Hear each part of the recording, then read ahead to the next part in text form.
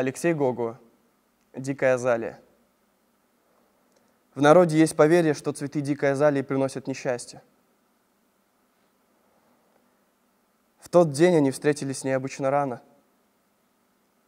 Каждое утро на пересечении трех дорог встречались трое – девочка и два мальчика.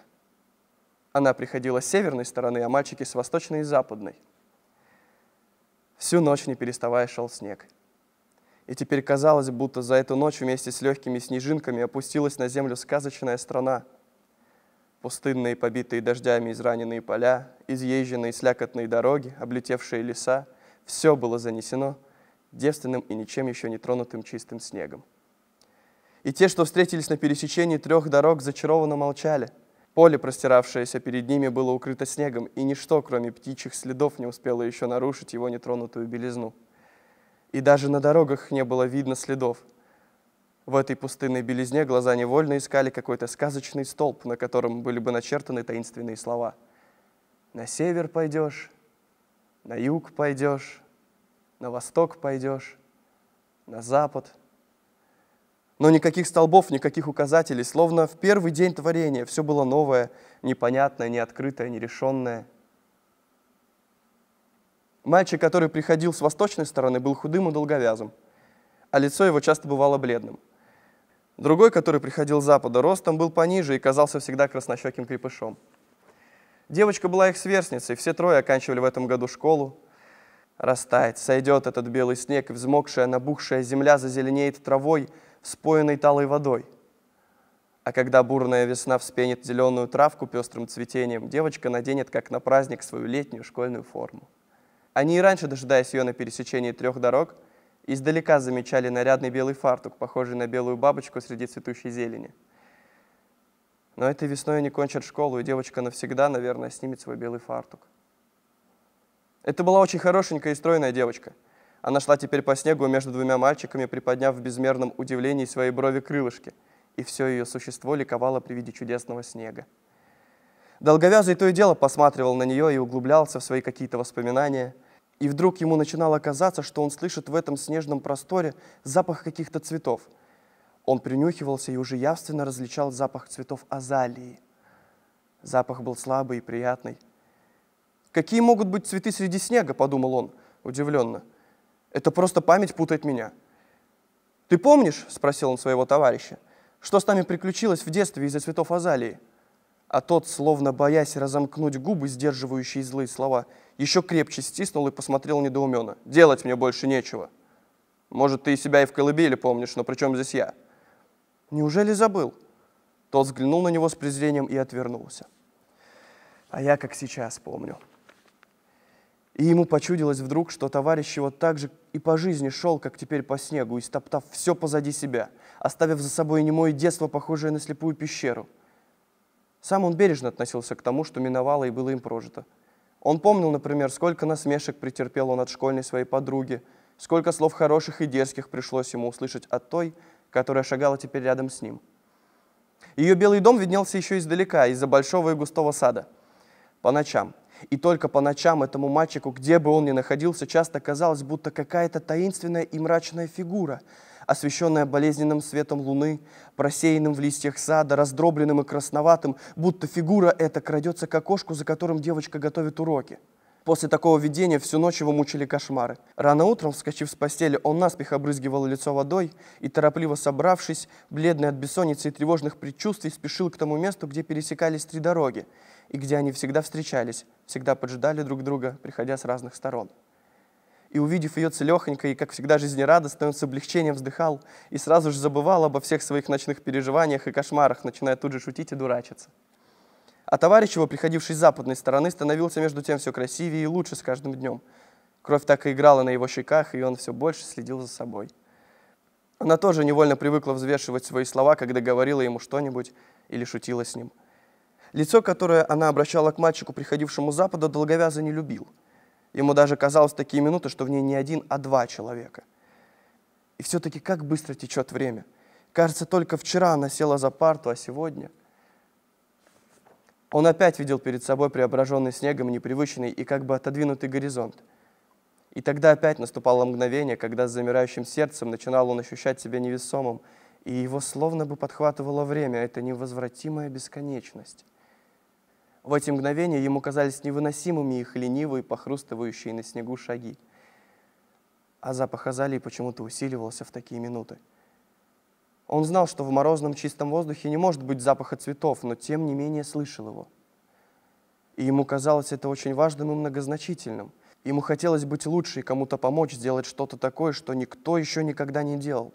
Найти какие-то главные слова, которые могли бы выразить все, что он чувствовал в эти минуты. От чего бы это? Может быть, во всем виноват снег? Или, может быть, от того, что он грустил сегодня и ни разу еще не пошутил, не подурачился, боясь нарушить снежное безмолвие? «Чего ж это мы?» — сказал он, останавливаясь. «Сколько снегу навалило, а мы боимся притронуться к нему». И словно впервые увидев снег, двое его спутников тоже остановились. «Посмотрим, кто кого!» — вскричал он и бросил портфель на снег. «Кто кого?» И снежки полетели в девочку. «Ах так!» — вскликнула она с вызовом и тоже бросила свой портфель. «Думаешь, со мной легко справиться? Как бы не так!» Лицо ее было в эти минуты таким, какое оно ему нравилось. Ему стало хорошо, и он уже с азартом стал лепить снежки, хотя поначалу ему хотелось только лишь развеять свою грусть, а не играть. «Кто кого?» Сначала он не очень-то увертывался от ее снежков и позволил догнать себя и осыпать снегом. Она была радостно возбуждена, смеялась, падала на снег и снова догоняла его, но быстро устала. Тогда он подскочил к ней, хотя она сопротивлялась, накормил ее снегом.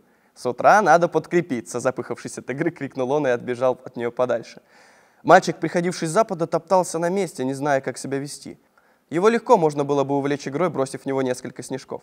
Но тот, который приходил с востока, решил иначе — Ему хотелось узнать, надолго ли хватит у того терпения. Тот ведь ничего просто так не будет делать. Ему нужен повод, и притом основательный. Не играть же просто так в снежки. Девочка отважно шла на своего обидчика, а обидчик, накормивший ее снегом, подпустил девочку совсем близко, видя ее покрасневшие от снега руки, слыша ее запах волос и любуясь ее ловкостью. У нее особенный смех. Никто никогда не смеялся так, как смеется она. И все это лишь для него. Только он один слышал этот необыкновенный смех, принадлежавший ему, потому что сама она не догадывалась о чудесном своем смехе, и он никогда не забывал его. «Нет, одна ты со мной не справишься!» — крикнул он. «Нападайте вдвоем!» И товарищ его издал наконец-то воинственный какой-то крик. «Вот это правильно! Вдвоем, вдвоем! Не понимаю, как это вы не догадались до сих пор?» — кричал долговязый, желая еще больше раззадорить приятеля. Он и сам не мог понять, почему именно сегодня ему хотелось дразнить того. А тот уже догонял его, летел за ним стрелой, чуть ли не со свистом, сжимая в руке крепкий, как кусок льда, снежок. Долговязый отступил, ловко увертывался от нападавшего, а порой и сам наступал. Девочка уже устала и не могла продолжать бой, согревая горячим дыханием свои озябшие, опухшие от снега покрасневшие руки. «Чего ж вы? Я ж говорю, вдвоем нападайте, вдвоем!» И долговязый, крикнув это, увидел, как товарищ его беззвучно разомкнул свои губы – словно бы давая выход той бессловесной ярости, которая мучила его, скопившись в нем дробью передержанных слов. Несколько раз он кидал в долговязого увесистые снежки, превращенные в его руках в круглые льдышки, но всякий раз промахивался и злился от этого еще больше. Видимо, ему мешала ярость. А, собственно говоря, почему он так злится? Игра есть игра. Зачем же так злиться? Думал долговязый, увертываясь от снежков, которые, как маленькие ядра, жужжали рядом с его головой – ну вот, наконец, когда Крепыш стал беситься от бесконечных своих промахов, мальчик, приходивший с восточной стороны, не стерпел и засмеялся. А его противник, услышав смех, стал даже спотыкаться и падать от дикой ярости. Чего же он так злится? Это же игра. И почему не смеется она? Это же смешно. Она должна смеяться. Это просто смешно, это же игра. Тут не должно быть места обиде и злости. Но она не смеялась. Он опять вдруг услышал запах азалии. Он замешкался на мгновение, удивленный этим неожиданно долетевшим до него запахом, и вдруг ему показалось, что с дребезгом и тупой болью разбилось в его глазах стекло, сверкнув фонтанами искр. Это, наконец, попал в него разозленный противник. «Уж очень он сильно сжимает снежки», — подумал мальчик. «Это уже не снежок, а какая-то льдышка, обкатанная в ладонях, получается». А сам тем временем, не мешкая, кинул в приятеля снежок и отступил, крикнув со смехом. «Ну что ж ты, игра есть игра!» «Игра, игра!» — странно бормотал тот, и как раненый кабан метался по снегу, стараясь еще раз попасть в противника своими тяжелыми маленькими ядрами снежками. А в воздухе опять запахло азалией. Это было похоже на чудо. В далеком детстве случилось это. Весна только-только начиналась, и все, что должно было зазеленеть и цвести, стояло еще по-зимнему голым. Но день был погожий, солнце грело по-весеннему ласково. Они вдвоем пошли на лужайку играть. И увидели там множество самых разнообразных красивых бабочек, которые впервые показались этой весной, кружась высоко в воздухе. Мальчики с завистью смотрели на них, хотелось поймать и разглядеть эту удивительную красоту. Но бабочки, увы, летали высоко и не опускались на землю. Тогда мальчики перешли на другой берег прозрачной веселой журчащей речушки и стали карабкаться по склону горы, залитому солнцем. Бабочек здесь было еще больше, и летали они здесь ниже. Играя в снежки, они порядком удалились от того места, где стояла девочка, ожидая их. «Ты слышишь запах азалий?» – спросил долговязый и, откинув голову, принюхивался к воздуху. «Ты знаешь, я не шучу. Я и в самом деле слышу запах. Смешно, правда?» Ему показалось вдруг нелепым и неуместным игривое желание раздразнить друга. Какое-то доброе и светлое чувство любви разлилось в его сердце. «Я не шучу», — повторил он. «Я слышу запах азалии». «Игра, мигра», — глухо пробормотал тот в ответ. «Может, пора уже кончать», — подумал долговязый. «Надо бы сдаться ему. Он любил, когда сдаются. Его уже узнать трудно, разозлился дурачок». Они бегали по склону за бабочками, ослепленные их красотою, и вдруг наткнулись на большой куст — он одиноко рос на склоне и, усыпанный цветами, казалось, горел жарким желтым пламенем. И они, разинув рты от удивления, остановились перед ним. «Это волшебные цветы. Я их по сказкам знаю, они всесильны!» Закричал он тогда. И мальчики зарылись головами в цветы, вдыхая их аромат. Цветы пахли, как спелая дыня. Они нарвали множество цветов, сколько мог унести каждый, и со всех ног бросились в деревню. Он все ясно не слышал запах азалии, и запах ее действительно был похож на аромат спелой дыни. «Что же он так злится, чудак?» – подумал долговязый. «Мне приходится увертываться от его снежков, потому что он их превращает в льдышки». Охота было ходить с синяками и дошишками. А он злится, что я попадаю в него, а он промахивается. Но ведь я кидаю легкими снежками, а это совсем не больно.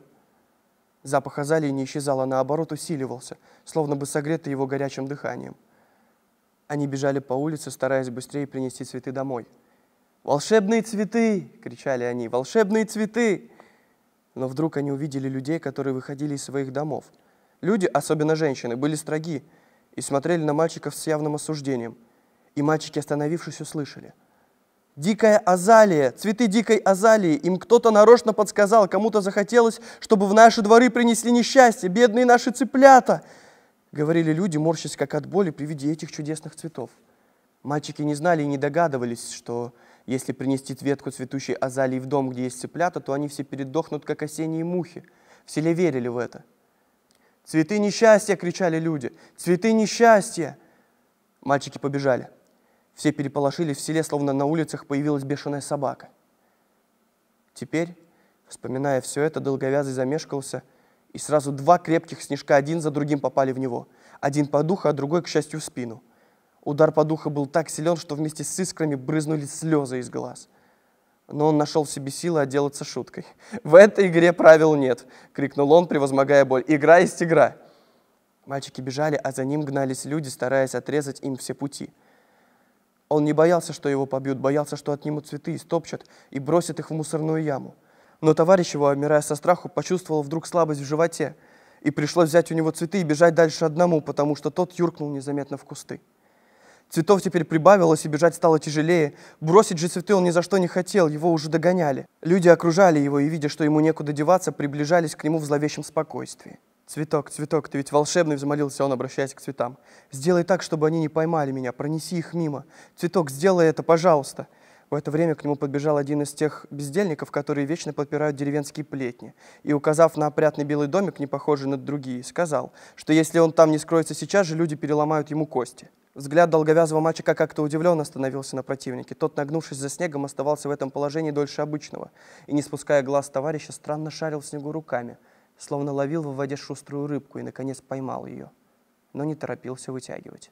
Девочка, стоявшая в стороне, видимо, почувствовала что-то. Направилась к ним. А долговязый уже не отступал и не бросался снежками. Воспоминания овладели им, и он уже не мог избавиться от них. Не постучавшись, он ворвался в этот белый домик, шум погони затих. Раз Азалия выбрала дом, Она уже была не страшна для других. Волшебство.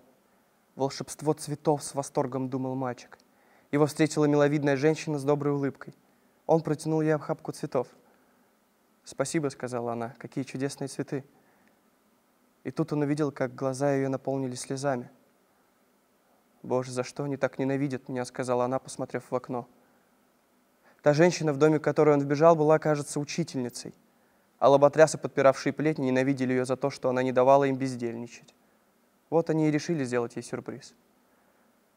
«Ну ладно, хватит, кончайте!» — это сказала девочка, подойдя к ним. И в это мгновение что-то мелькнуло у него перед глазами. Тот, что приходил с запада, прыгнул на него барсом и размахнулся, словно хотел обнять и навалиться на него подружески, обхватив за шею. Но блеснула лезвием кинжала пойманная в снегу рыбка. Долговязый упал, уткнувшись лицом в снег, но сразу же пришел в себя, хотя не смог сразу встать. Что-то теплое и густое застлало ему глаза.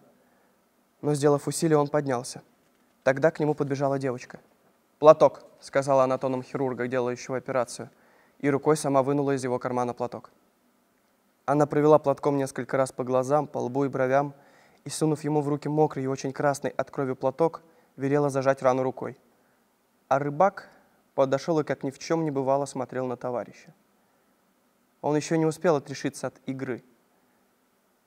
«Случайность, говорят, и в галушках прячется», — сказал он, переводя дыхание. «Я же вам говорила, чтобы вы прекратили», — сказала девочка и с кулачками полезла на того, кто приходил с запада. «Вот тебе, вот тебе, вот!» А тот, довольный, словно бы неумело засмеялся, подставлял ей бок. «Это верно», — сказал долговязый. «Случайность порой даже в снегу прячется». И пристально посмотрел на своего противника, поймав его взгляд. Но тот еще был невозмутим, словно бы еще бубнил свое невразумительное «игра, микра». «Это ты, конечно, нечаянно», — сказала девочка, «а то бы...» И она, не договорив, опять ринулась на краснощекого крепыша, а тот игриво отпрыгнул в сторону. «Тоже мне придумал игру», — сказала она, обращаясь уже к долговязому. «Ладно, ничего, мы с тобой как-нибудь вдвоем накормим его снегом хорошенько», — говорила она с какой-то сладкой улыбкой, сдерживая ее, словно бы острые уголки губ делали ей больно. «Зато никто из вас не слышал запаха азалии», — сказал вдруг мальчик, приходивший с восточной стороны — и какой-то дикий и безудержный смех вырвался из его груди, словно его вдруг стошнило этим смехом. А двое других, будто ожидая этого сигнала, тоже захохотали, хватаясь за животы, корчась, как от боли, топчась на месте, кружась и пританцовывая. Но также неожиданно, словно по приказу, умолкли. Те двое вытерли слезы, проступившие на глазах от смеха, а долговязый, зажимая платком рану, остался стоять со слезами на глазах. «Идите в школу, а то опоздаете», — сказал он им и скажите, что я геройски истек кровью на поле битвы». Они еще некоторое время не решались идти, а долговязый хотел было уже прикрикнуть на них «Уйдите с глаз долой!» Но не крикнул и, отвернувшись, словно бы забыл о них. Стал забрасывать пятна крови, олеющие на снегу. Он отнял руку с платком от виска, кровь больше не сочилась, и положил в карман намокший платок. Когда они ушли, он отыскал глазами тот злополучный снежок и, нагнувшись, поднял его. Это был грязный осколок камня величиной в гусиное яйцо. Он соскреб с камня примерзший к нему снег и зажал его в руке. Он не пошел по следам ушедших, не желая встретиться в таком виде с кем-нибудь из товарищей, а направился в снежный, еще никем не тронутый простор поля. Проходя мимо развилки трех дорог, он пересек поле и вышел на это пересечение. Три дороги сходились здесь. Одна с севера, другая с запада, а третья с востока и на восток. Здесь на перепутье дорог не было ни указателя, ни камня, на котором бы, как в сказке, было написано «На север пойдешь, на юг, на запад, на восток пойдешь». Только лишь утренние их следы виднелись на заснеженном поле. Он постоял немного, словно ожидая чего-то. Потом, нагнувшись, разжал пальцы и положил камень на пересечении трех дорог. Вытер руки снегом и пошел по утренним своим следам, оставленным им, когда он спешил сюда. С утра собиравшиеся снеговые тучи наконец сгустились, провисли над землей, и из них полетел снег, занося опять их следы. Он был густой и мохнатый. И мальчик, глядя на летящие снежинки, вспомнил вдруг опять бабочек той далекой весны, которые порхали над солнечными склонами и тут же в нос ему опять ударил запах азалии. на этот раз слабый и приятный. Запах азалии, грустно улыбнулся он. Может быть, среди этого множества бабочек были и бабочки-однодневки? Бабочки, которым отпущен всего лишь один единственный день для жизни. Кто может знать, сколько надо, чтобы один день сделать целой жизнью? бабочки, не живущие дольше одного дня.